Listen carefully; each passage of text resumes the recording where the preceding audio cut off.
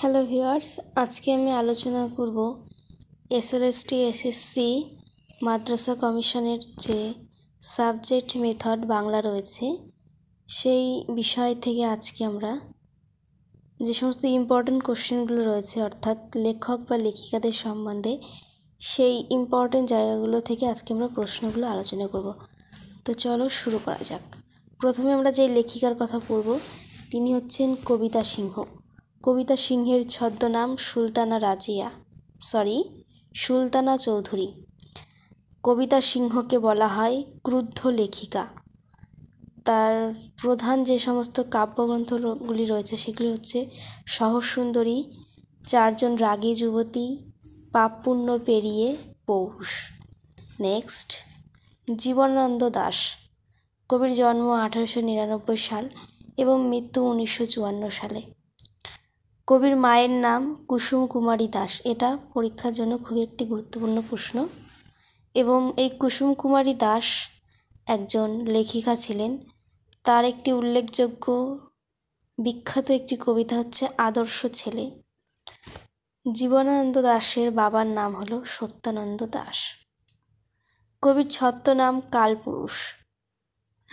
কবিকে প্রকৃতির কবি, রূপসী বাংলার কবি বলা হয়।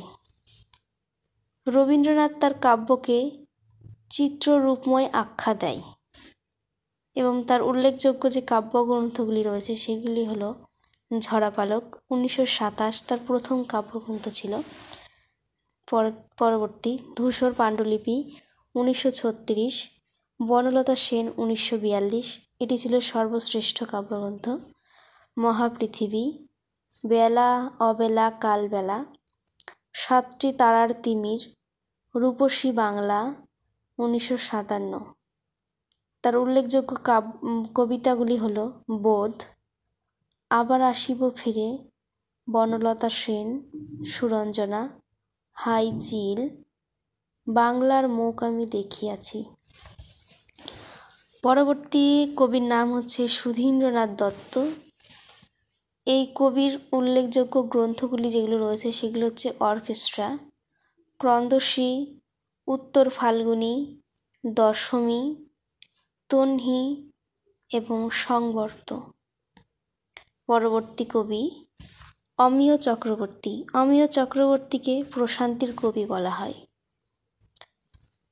অমিয় চক্রবর্তীর উল্লেখযোগ্য কাব্যগ্রন্থগুলি হল খসড়া, এক মুঠো মাটির দেওয়াল পালাবদল, পুষ্মিত ইমেজ সরি পুষ্মিত ইমেজ পাড়াবার। পরবর্তী পরবর্তী কবির নাম যিনি হলেন, তিনি হচ্ছে প্রেমেন্দ্র মিত্র। কবি প্রেমেন্দ্র মিত্রের প্রথম কাব্যগ্রন্থ হল প্রথমা।